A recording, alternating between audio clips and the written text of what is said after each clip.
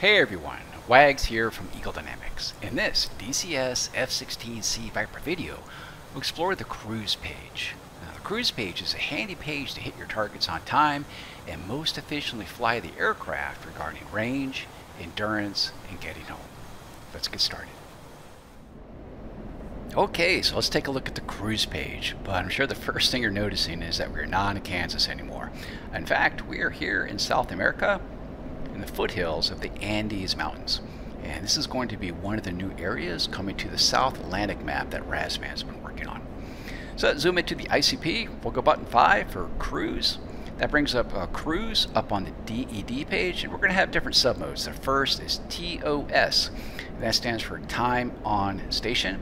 Let's go ahead and enable that by hitting M select or the zero button on the ICP.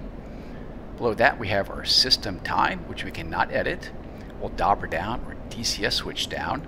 And that brings us to our desired time on station. And that's kind of the whole purpose of the sub mode, in that what we can do is we can select a steer point indicated here in the top right corner and then manually input a desired time on station that we want to overfly that steer point. And what will happen is once we do that, it'll give us indications of what airspeed we need to be at to fly over the selected steer point at the desired time on station.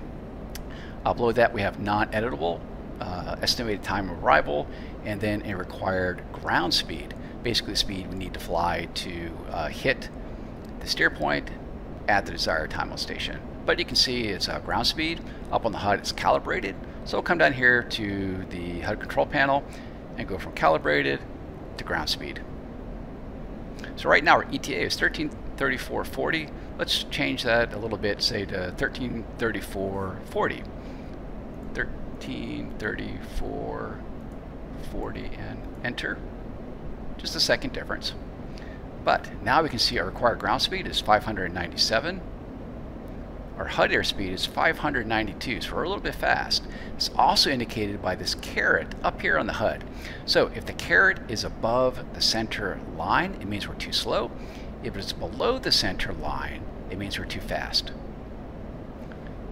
right now we're a little too slow, so we're going to push the throttles up a little bit, bring that caret down to center, and right about there. So,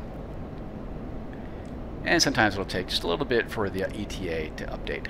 So this is a really handy mode to essentially uh, hit a target right on time in coordination uh, with other elements. To go to the next mode, we'll hit the uh, sequence switch to the right, or right, and then we go to cruise range. Again, we'll enable it by hitting M select. We can select our steer point. We'll keep it at steer point 1. And below that we have our fuel. And that's basically an estimation of the remaining fuel once we reach the selected steer point. Also in the HUD, we have our caret still. If the caret is below the center point, it means that we're uh, going too fast for optimal range. And conversely, if the caret is above the center point, it means we're going too slow for optimal range. Let's sequence to the next, which is Cruise Endurance, or EDR.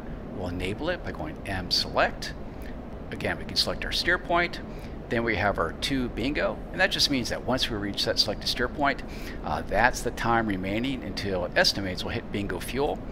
And then below that we have our optimal Mach, and this goes back to the caret again.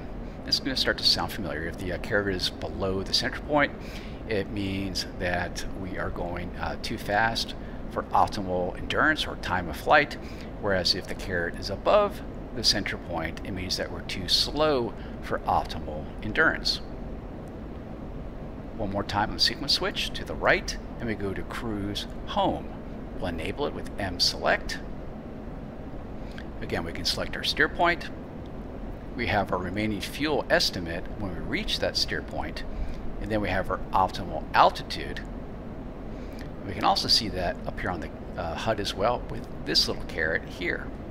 So if the caret is above the center point on the altitude tape, it means that we're too low to uh, optimal to get home.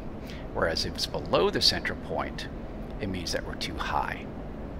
Likewise, we still have the caret on the airspeed tape, uh, which again, as always, if it is below the center point, it means we're too fast. If it is above the central point, it means that we are too slow.